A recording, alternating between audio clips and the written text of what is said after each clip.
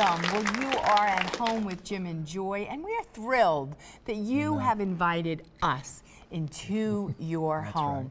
You're an important part of the EWTN family, and we would love to hear from you. This is a live show. You can send us an email, Jim and Joy at EWTN.com. Today, we're going to be talking marriage and children and um, how to have a successful marriage, how to raise your children to be saints. We're going to have a wonderful guest. Her name is Mary Ann Budnik, and she's the author of many books, including Raise Happy Children Through a Happy Marriage and Raise Happy Children, Raise Them to Be Saints. It was a joy just to speak to Mary Ann in the back room. And she is a wealth of knowledge, really lives uh, what she shares. And uh, she'll share so many spiritual truths and practical truths to raise up our children to be saints and to bless our marriages. And so there's so many components to this, but Joy, something so critical in our lives has been daily prayer as a couple for 39 years now. Is it that long? It's that long. And yeah. you know what? You're married to 39 me. years, I would want to be married to you 39 more, and I still wouldn't be enough. I'm telling you the truth. You're so sweet. I Thank you so mean much. it. I love you. But that's a highlight for us every morning. We usually do our readings sometimes together, sometimes separately, always a portion of scripture. And then we come together and we pray for one another. Um, and I just want to speak about the byproduct of prayer or what we're encountering in prayer, because maybe that'll motivate you to pray with your wife um, or the wife with, with the husband, that you would be so moved. The unity that we experience, that I experience Yes, in, in prayer with too. you, I was thinking about that this morning. Just so unified. Don't we want unity in our marriages and in the world? Mm-hmm. Peace, I experience peace. That's extraordinary peace. Um, I, sh- I experience somebody who's for me. Mm-hmm. I learn again that I'm not just a physical person, I'm a spiritual person. I believe that you can do for me in prayer what nobody upon the face of the earth and no angels and no saints can do for me. Mm-hmm. Now, there's some things priests and popes and angels and saints can do for me, that that I you can't can't do. but you have a place in my life Right. of blessing me, praying for me, delivering me, fortifying me. And I have a special place in your life in You terms of authority and, mm-hmm. and praying for you and touching you and mm-hmm. praying over you. And we always touch one another in prayer. Mm-hmm. And we bless one another at the end of all of our, our prayers. And we think about it like blowing upon the sail of a ship. So I want to blow upon the sail of your life, mm-hmm. God's life for you, not, not my life for you, but God's life for you. And so I just wanted to share some of those things the power, the authority, the peace, the unity that comes from a man and a wife loosing those graces, mm-hmm. those gifts that have been given just to me and just to you, for Right. me, for you, Right. together, that's not shared with anybody else. Mm-hmm. Do you understand, especially you men out there, the gift that you have to give to your wife? to your children. Pray with them. It's, it's so simple. You don't have to use a lot of words, but just mm-hmm. pray, lay hands upon them, and God will do amazing things. And I love how it dispels when we pray in the morning the cobwebs of the night. You know, Yeah. you get up and and you're fresh. You're resetting. You're saying, yet again, to Jesus and to you, my beloved, I'm all in. Yeah. I'm all in. You know, no matter what this day brings, and there have been days we didn't know what the day was going to bring, Yeah. but we were going to be all in, and we were going to be centered on the power of Jesus in our marriage and the power of the Holy Spirit to fortify us and to strengthen Yeah. us to love better, to serve better. Um, because we always say, and we say this often, two things destroy marriage selfishness and prayerlessness. And so you want a healthy marriage, you want a happy marriage. Um, and I'm not saying uh, it, it- marriages aren't, you know, there, there's problems in marriage. There's human beings in there. there's going to be energy, there's going to be attitudes, there's going to be junk because Yeah. that's how we come with stuff. But we're working it out. And I like that Jesus is using you to get me to heaven. And I mm-hmm. know that Jesus is using me to get you to Amen. heaven. And that's, I mean, that is great. I mean, we're becoming holy by God's grace and mercy. Marianne Budnick is up next. We're going to be speaking more about the sanctity of marriage and raising your children to be saints. Don't go away. We'll be right back.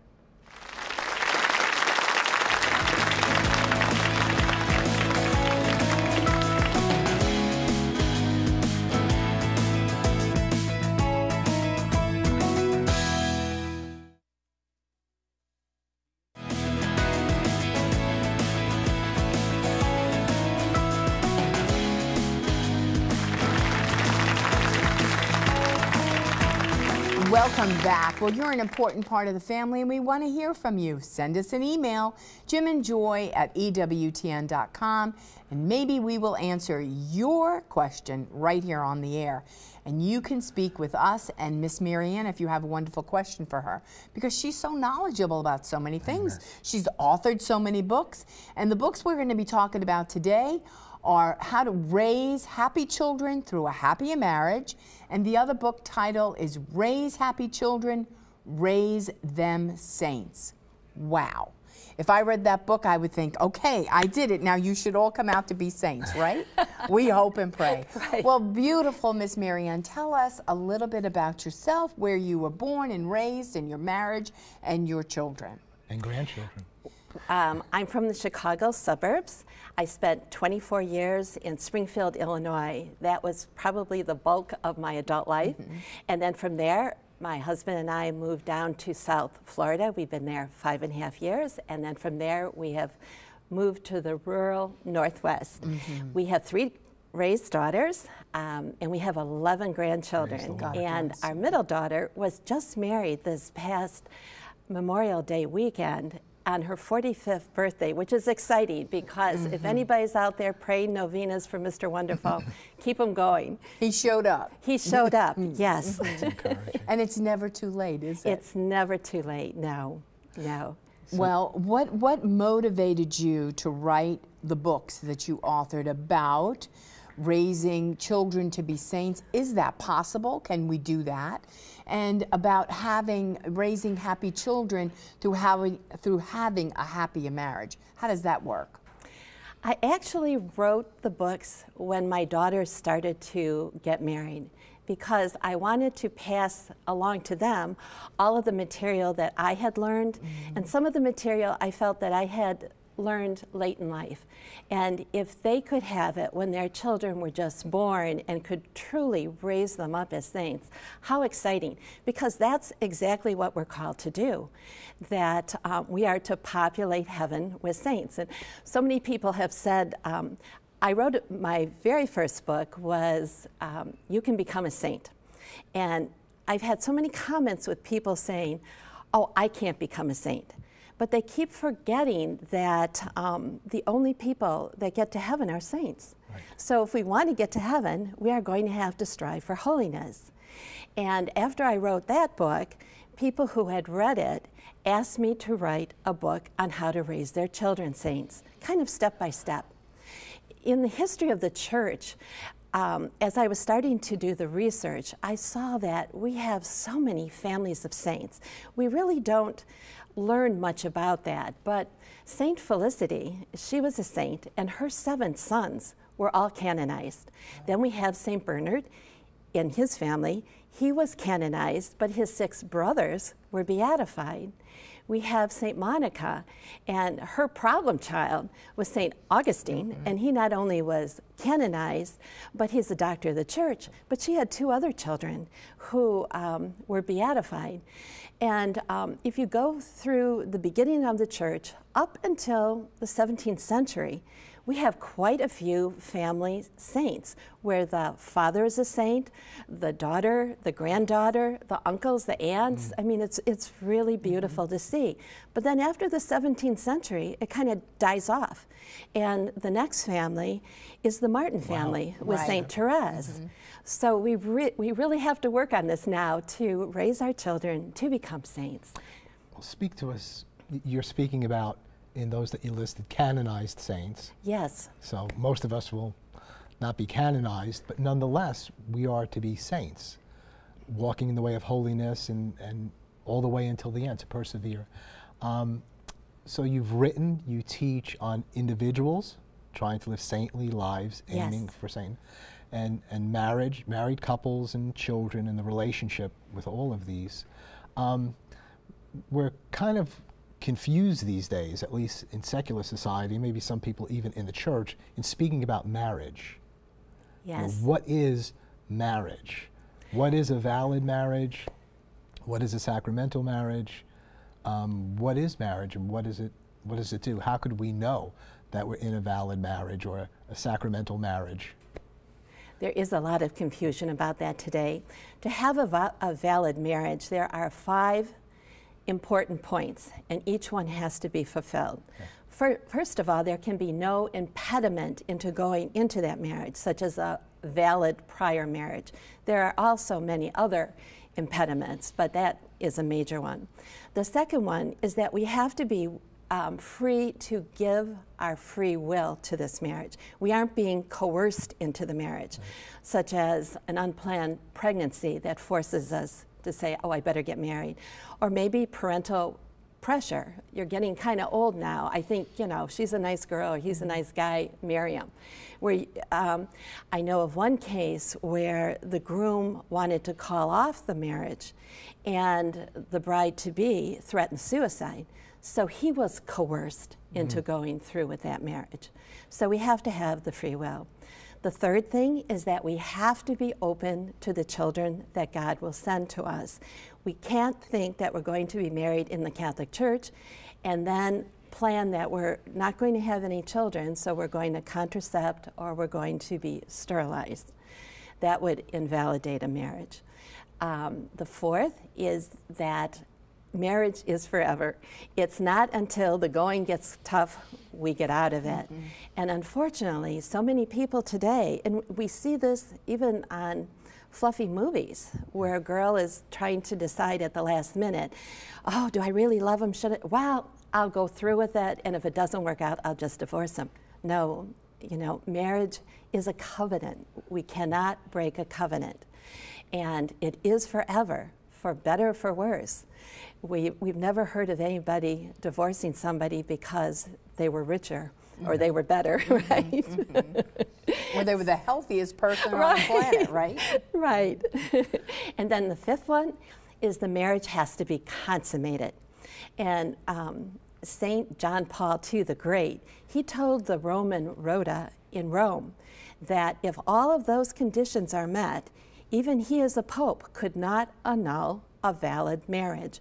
A pope can only annul a marriage that was not valid because one of those five points was missing. So you're saying those five components are for any man and woman yes. who, man. who make that covenant. Yes. It doesn't necessarily mean that they are Christian or religious or whatever. That's a marriage if those components are there and they're consenting to that. They understand that they're freely giving themselves to it. They understand about children. They understand you know faithfulness.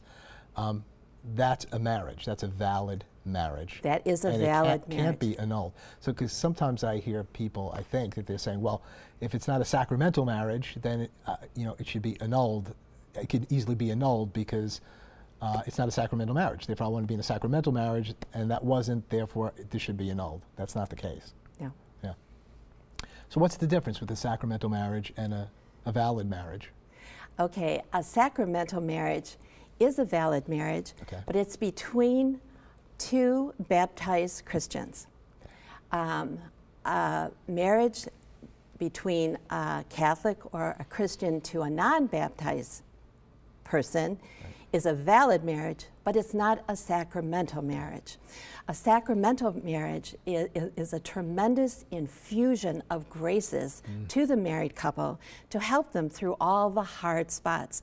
As Father Hardon used to say, um, it, it helps you to know exactly what the will of God wants the husband to do and what the will of God wants the wife to do, and how the two of them are supposed to work together to raise their children saints.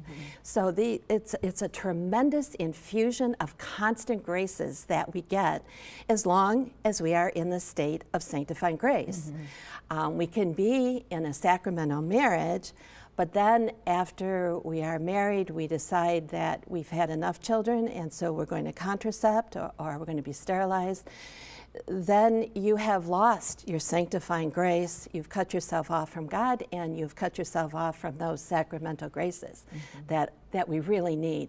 Marriage is the hardest vocation because you're taking two completely different people and you're putting them together and um, original sin and its effects come in and we tend to be selfish and we want to do things our way and we would like our spouse to serve us rather than us serving our spouse and so that's why we need those graces because marriage is complete self-giving mm-hmm. you're giving everything you have to your spouse wow. and then your spouse is supposed to do the same for you wow. but you know, in a lot of marriages, we don't have that. So, um, married couples need to intensify their spiritual life so they keep not only their sacramental um, graces flowing and the sanctifying grace, but also deepen their interior life through Mass and the sacraments, um, mental prayer, saying the daily rosary, particularly the family rosary, which is so important. And because to raise children in that, if the husband and wife aren't on the same page, right, and they're both saying, I'm all in and I choose by an act of my will to die totally to myself today and to live for you. So, and if, because people get married today and it's like, well, but if he does that, then I'll do this. Yes. right?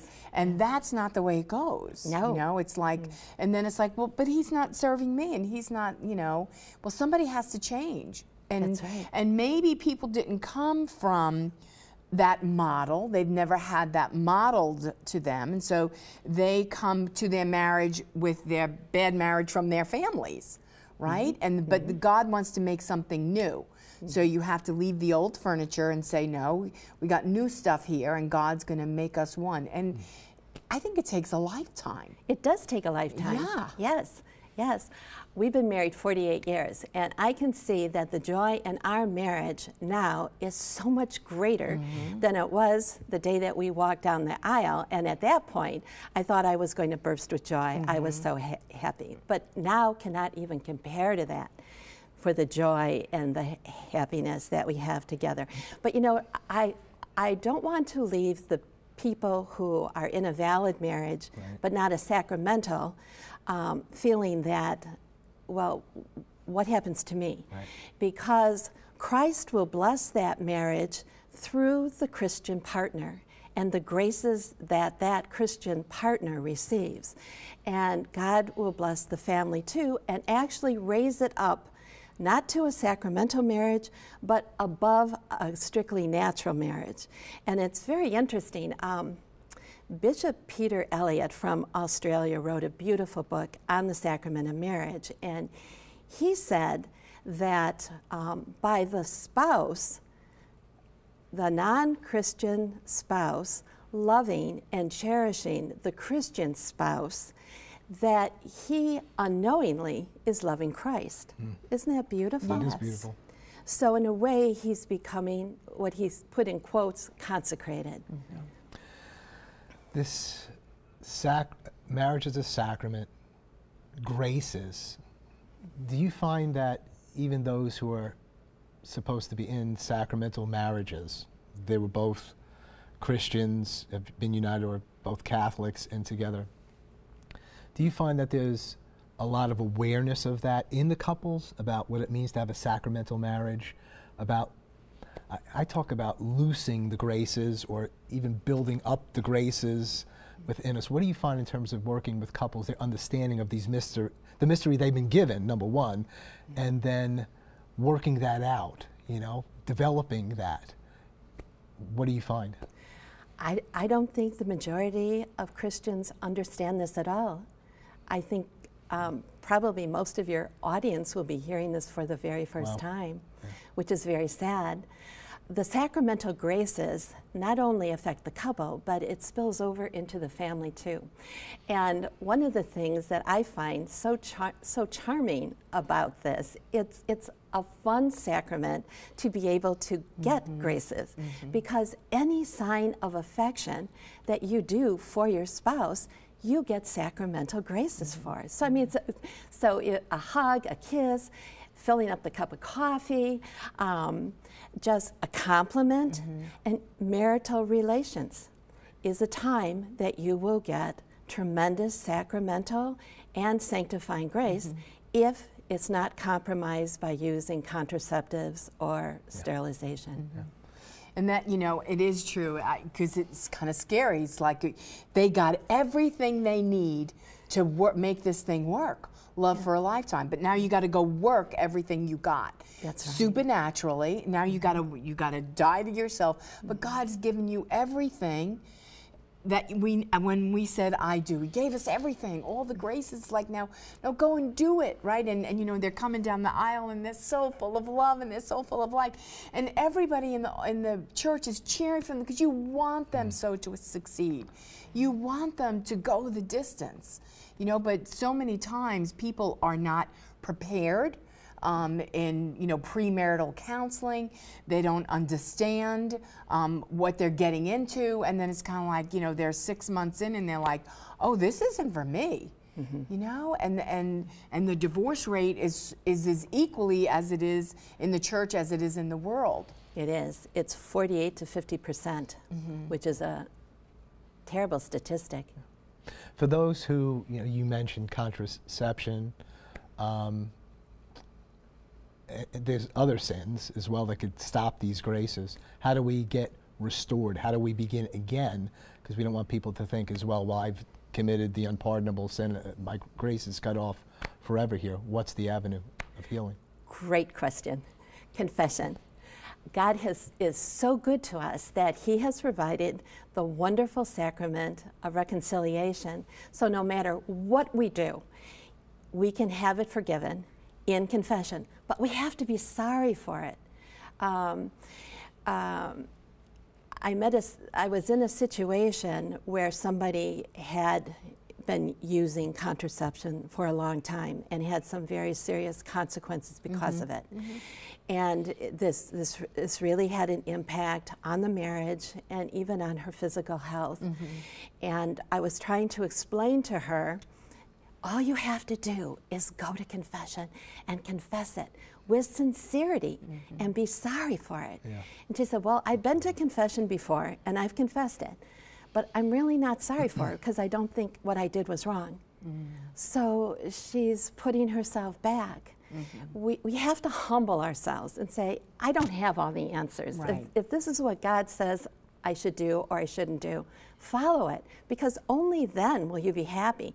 God only wants us happy. Right. And to say in confession, maybe at the time, in my own stupid wisdom, I thought this was a good thing. Mm-hmm. But God, now that I see the light and I know the truth about everything that you wanted to give to me, I failed you and I broke your heart. Let's hold it you know? right there, Joy. We're speaking with Marianne Budnick, and we're speaking about strengthening marriage and the family and raising happy children to be saints. We'll be right back. More to come. Don't go away.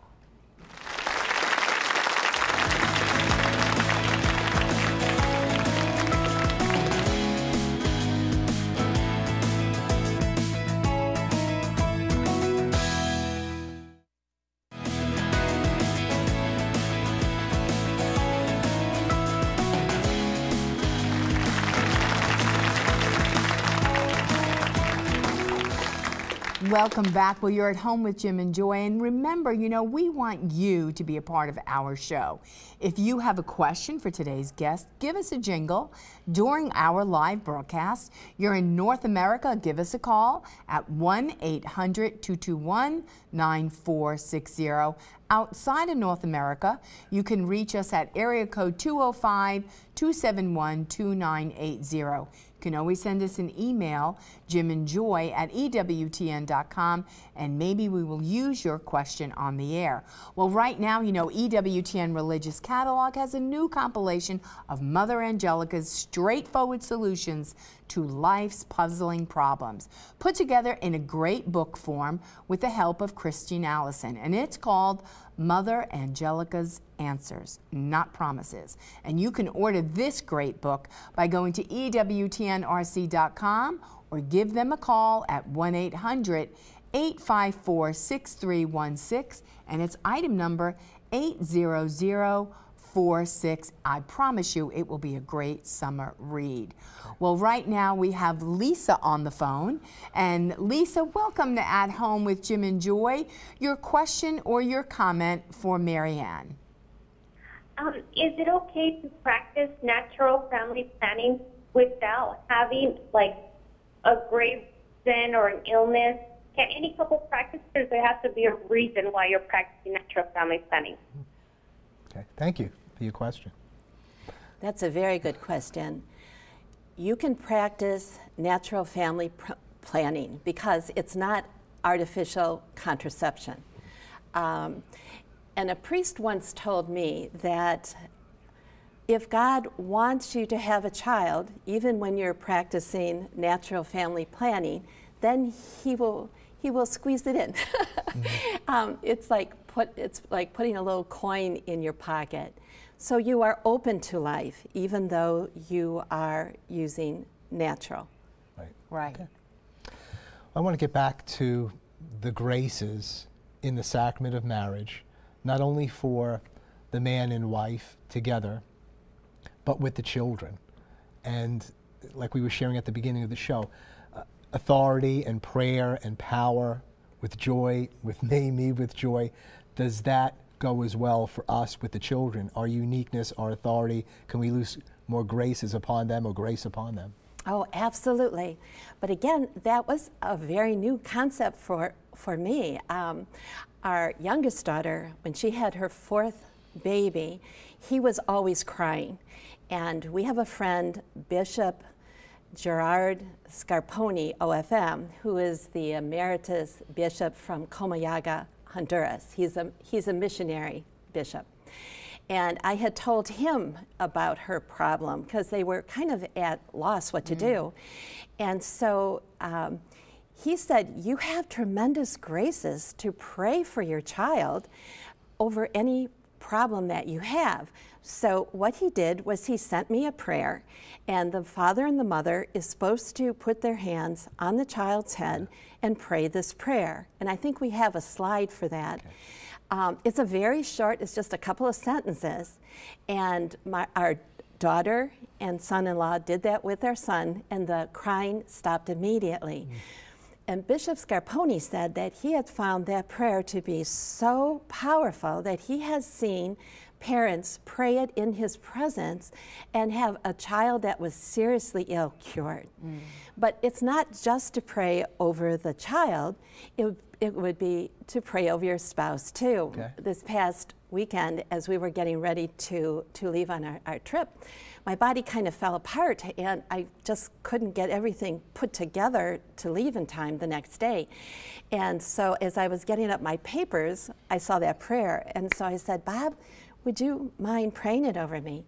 And he said the two sentence prayer, mm-hmm. and I was like, I was back to normal. Mm-hmm. Yeah. It was yeah. just miraculous. I remember seeing that. We don't have it right before us, but I, what is the gist of it? Is it as, as a parent, I lay my Asking hands upon God. you, dear God, please, here's the need for my son, for my daughter, and we're, we're asking your remedy.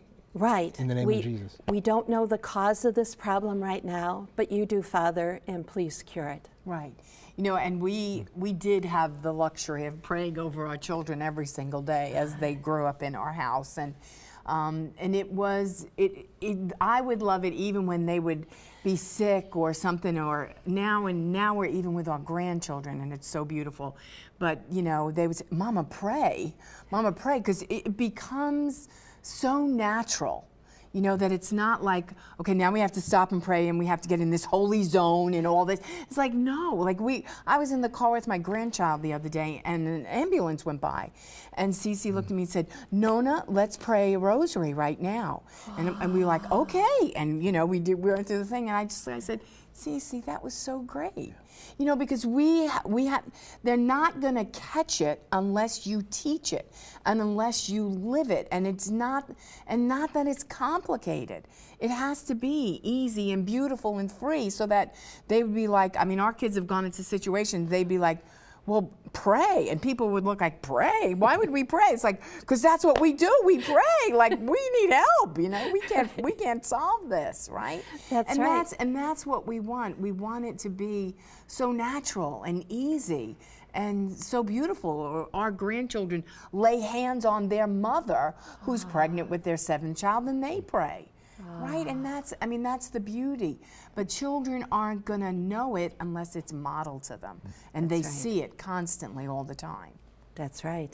Yes. What are the steps, what are the components for raising children to be saints? Well, first of all, you have to start with the marriage relationship and the richness of that and the depth of that, and parents striving to become saints themselves Right. will raise, as we said before, holy children. Now, there are many people who are single parents, but they can still raise their children saints. It, it's just as with every other aspect in a single family, it just takes more effort and a lot more work. But God will reward their efforts. The second step is to teach our children to love God. Um, Saint Therese, she always talked about God as the good God. And how beautiful that that is because when we start to talk to our our little ones and we put the adjective good in front of God, that just opens a whole world for them. And then we can show them the good God has given us a sunny day mm. or we have rain for our plants or the good God made this delicious food or your nice bed. So constantly going back to the good God. And then that in turn should be wedded with the virtue of gratitude to thank God for everything He has given us. Daddy's job, mommy and daddy together here, our home. I think the best example of gratitude that I've ever met is actually Mother Angelica. Um, we were blessed to spend four days with her, and through that, she was thanking God all the time. And it wasn't always with good things. She was thanking Him for the contradictions. She was thanking Him for when things worked out and when things didn't work out. And it was always, Thank you, Jesus. Yes. Thank you, Jesus. Yeah. What an impression it made on us. So, besides that, um, and then teaching the prayers, when a little one is small, um, to point out everything and start to tell them the words, even though they can't register. It, it is, they are learning on a certain level. And then to blow a kiss to Our Lady and to our Lord. And then when they can start to talk, I love you, Jesus. I love you, Mary. Help us.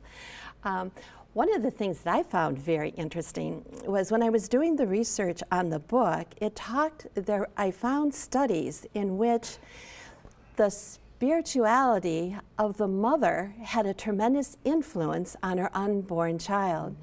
And so when you are pregnant with a child, that is the time to deepen your interior life, not to kind of slack off because you're tired or not feeling well, but to really deepen your prayer life. Try to get to Mass more often, get to frequent confession. These are all very uh, powerful steps. And then as the children are growing older, then we need to teach them more of the prayers the Hail Mary, the Our Father, the Creed, the Act of Contrition. By the age of three, a child can say a decade of a rosary by mm-hmm. himself. Mm-hmm. It's, mm-hmm. it's very, very impressive. Right. Um, and then we can teach a child about the guardian angels when they're in a fearful situation, when they're afraid of a storm or afraid of the dark or some other thing. We can tell about the angel who's there to protect them. And then um, Also, we can start to teach them the divine mercy aspiration. Jesus, I trust in you too in a time of fear. One time I was um, stuck on an elevator with our middle daughter, and she was about five at the time, and we were in a great big department store, and it was a great big ele- ele- elevator, and there was a lot of people there. And it, it just jammed, and it wouldn't go up or down. And so um, I was watching her, and I could see that Yeah. she was really getting nervous, and so, so I, w- I was I was praying for her, and I was praying for the situation, and then then when it was all over, I said, well, when we got out, because she had been separated from me, and I said, well, did you pray to your guardian angel? And she said, I did, but he, I saw him in the corner of my mind, and he was just as scared as me. that is so true. You know, we were on vacation with the grandkids recently, and um, we were talking to the grands about guardian angels, and and they they have a name, you know, and. Me, did you ever ask your angel what his name was? You know, and they're three and they're four and they're just beyond, you know, they're just so open, you know. So uh, Sophia, one of our little grands, she said, Oh, she closes her eyes and she goes, I think his name is Philo. So I'm going to call him Philo. So she she went the whole vacation. She was like, "Is my fellow with me?" And I said, "I'm sure your fellow is with you." I mean, but that's the beauty of it. Or when you're with your children or your grandchildren and they're stuck in tablets and screens. You know, we were the kids were in the back seat and I said, "Put the tablets down and let's look at God's tablet." the mm-hmm. sky. Let's look at the beauty. And so then Sophia said, you know, she was the younger one, always wanted to tell the older sister what to do. She goes, You heard Nona. Let's look at God's tablet and let's see what He made for us. I mean, you that is know? another way to raise up saints, right? Right, God's right. created order, making the time just to simply look and say there's nothing that compares with that. That really impacted our grandkids. Yeah. Yes. Well, that's because they're so impressionable right now and they just think we're rather wonderful. Yeah, but it's competition. Right. I mean, is it the creation or is it this thing that I'm looking Right. at? Right. Or is it the Who's, movie that's that we're not going to give me life, you know? But and you it's not going to make you happy or joyful. No. Mm-mm. Well, we're going to go straight to an email. It says After 14 years of marriage, my husband has expressed interest in becoming Catholic. I was raised in a Catholic family, but haven't practiced since I was in grade school. I was never confirmed. We're both pursuing RCIA classes, and we are wondering what we can do to have a sacramental marriage. Can we ask a priest to bless our marriage as it is now, or do we wait until we both have been formally received into the church? And this is from Susan in San Francisco. Okay, well, Susan is a fallen away Catholic. Um, her husband, I He don't- wasn't he wasn't raised Catholic, but he's expressed interest. And so Okay. they're both in the RCIA classes. We don't know if he's a baptized Christian or not. or, so or I'm not. sure. Okay, I would think I would go and talk to your hu- to to the priest Mm-hmm. and um, expl- express that you want to have a sacrament, sacramental marriage, and ask what steps he he would suggest that you take. I would assume he would wait until they came through the Mm-hmm. completed the RCIA program. Right. Yeah. Would I you think they're in the right place. You have Yes, To be in it RCIA, you can sense that the Spirit's stirring things within them. You know, a really good book, Susan, to get is The Faith Explained. I think that you and your husband would learn so much about the Catholic faith from that book. Any other thoughts, components with raising children to be saints? You mentioned so many joy. Mentioned the created order. Um, what other avenues to open them up to for them to experience? We have to teach them virtues. This is really, really key because we have people that um, know their faith. They may go to daily mass every day, they may say the rosary every day, but they're nasty people. And it's mm. because they have not developed the natural virtues such as kindness and charity and thoughtfulness and generosity. There's about a hundred different virtues, but there are 12 fundamental virtues that need to be taught to children from the ages of 1 to 12, and then an additional 20 virtues that need to be taught between the ages of 13 and 18. The second group of virtues build on the first group. So if you don't have the foundation of the 12, it's going to be very hard to teach chastity. Key virtue to start with is obedience. Hmm. And so many times, when you have that cute little child, you just don't want to teach obedience. They're just so cute and everything that they're doing, even though it's not great, um, kind of tugs at your heartstrings. But it's very important that they learn this virtue of obedience and learn it young because if they do not obey you, they're not going to obey God. Right. So, this is a very key point. And then it's very important to realize that parents are the primary educators of their children, that even if you send your child to a Catholic school, um, the school only supplements what you supposedly have already taught your child. At the domestic church. Yes, yes. So this is very, very key. Um, when our children were growing up, um, our purpose was to raise them as good, faithful, moral Catholics.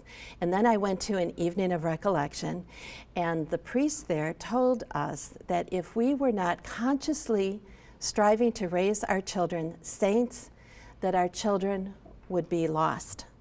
The faith would be lost to them today in our culture. Let's just hold that right there. We'll be right back with more on strengthening marriage and the family and raising your children to be saints. Don't go away, there's more to come. We will be right back.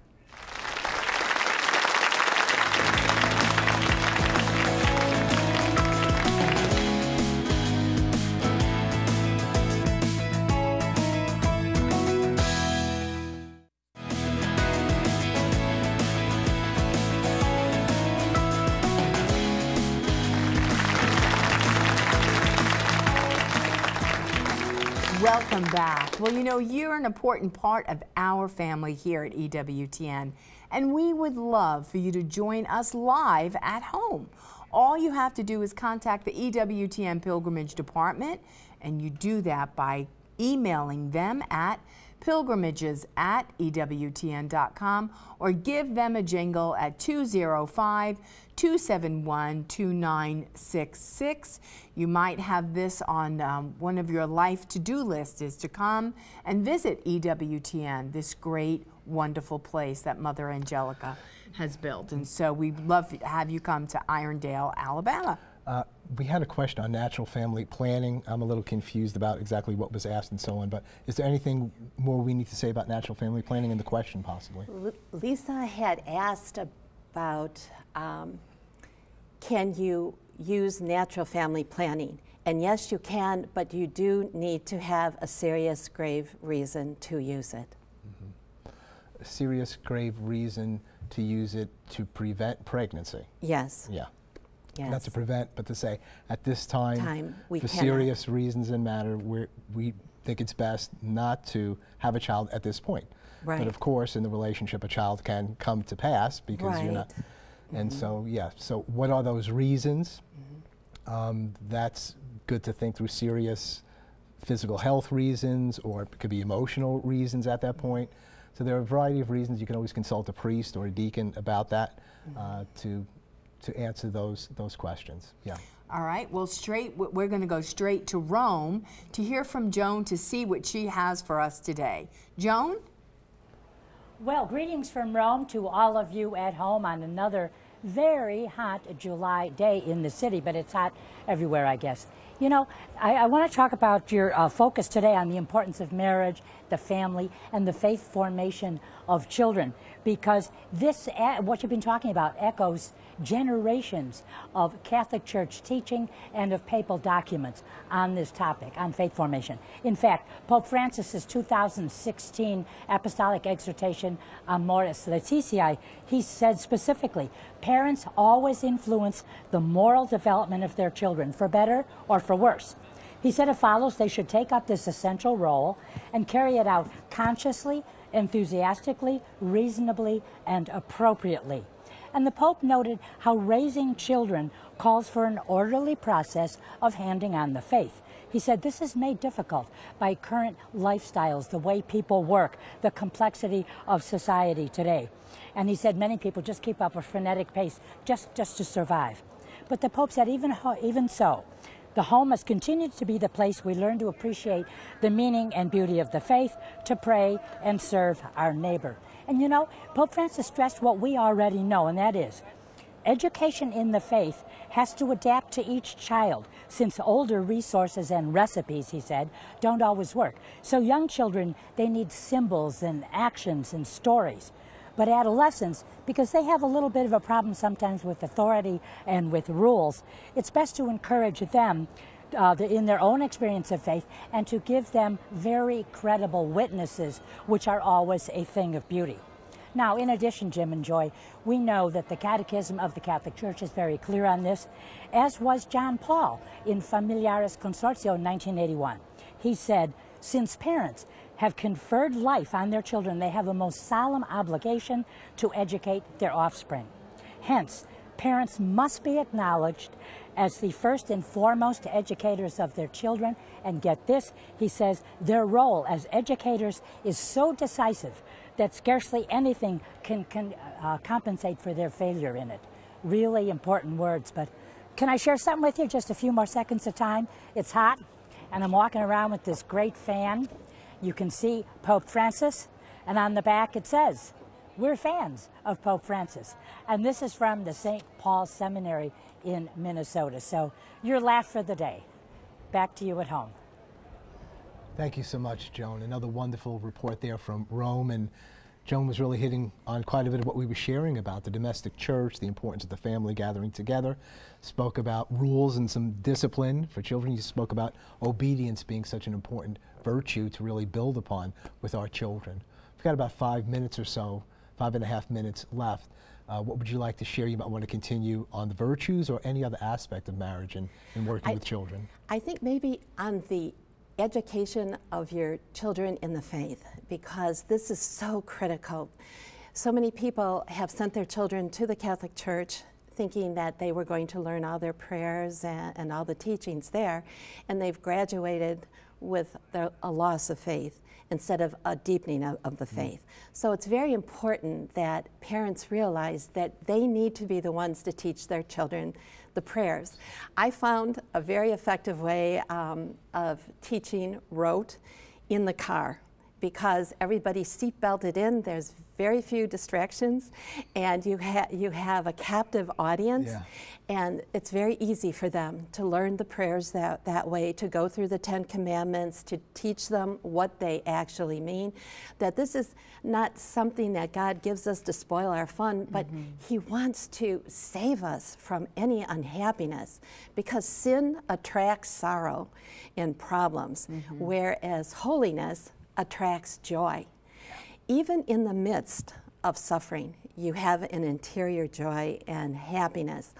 Um, what we did in our family is, even though our daughters were going to a Catholic school or a, a private school run by Catholic lay people, my husband at night um, would teach them catechism himself. So we got a very good, I think it was Life and Living, it was from Ignatius Press. Mm-hmm. And uh, he would do a chapter a night with the girls so that they would really, really know their faith. And um, thank God they are still all practicing mm-hmm. Catholics. Mm-hmm. Yeah. yeah. You know, as I hear you share, and I'm just thinking about our viewers out here and those listening, and you know what you speak about takes time. It you, does. You've got a to lifetime. make mm-hmm. time and you got to make time to think about the time that you're going to take with your children, with your marriage, and you know, some people might be saying, "Well, how are you going to do all this?" Well, just think about what you do during the day and how much time you give to this, to that, to TV, to radio if it's not EWTN, and uh, you really do have a lot of time. But it's your commitment to building a relationship with your wife, with your husband, with your children, with your grandchildren, teaching them intentionally, formally, and informally as you drive in the car, as you walk by the way, as you put them down to bed, as it says in Deuteronomy, just in simple ways, as you walk along the way, just teach them the things of the commandments of God, the way of Almighty God. But we've got to make the commitment to that as parents. That's right. And sometimes we have our children so programmed that they're going from the time they get up in the morning until they're going to bed right. at night with the dancing and, mm-hmm. and the sports and everything else. And we leave out the most important, mm-hmm.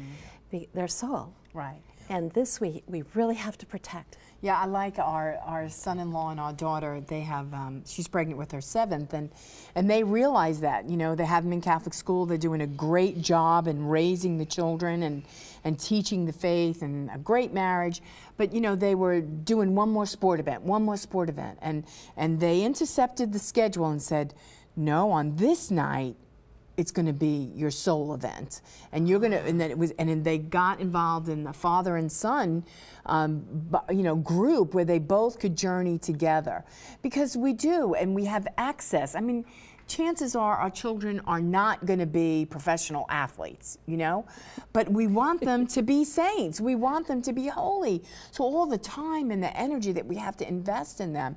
And sometimes it's it's out of whack you know and and they're not happy people No. you know and they they don't know the purpose for which they were created and they don't know their destiny they don't know where they're going That's right. you know and then we failed them That's right. so we have to take an inventory of saying how are we doing this what are we doing as parents and how are we in our marriage you have to stop like it, it takes time to have a conversation just to have um, how are we? Are we happy? Are we in a rut? Are we stuck? What have we done for ourselves spiritually?